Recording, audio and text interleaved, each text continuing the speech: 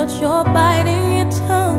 You've spent a lifetime stuck in silence, afraid.